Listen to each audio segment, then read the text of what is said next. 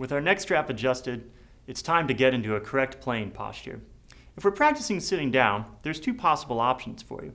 Number one is to play off to the side of the body, like so. To make this comfortable, you might find that you need to adjust the angle of the neck or the mouthpiece, even the neck strap position. Alternatively, we can play directly in front of the body. That's what I do, and I recommend it for older students who might feel a little bit more comfortable with the weight of the saxophone. One important note, if you do decide that playing off to your right side is more comfortable for you, move to the right side of your chair so that you're careful not to bump the bottom of the saxophone into the chair and damage it.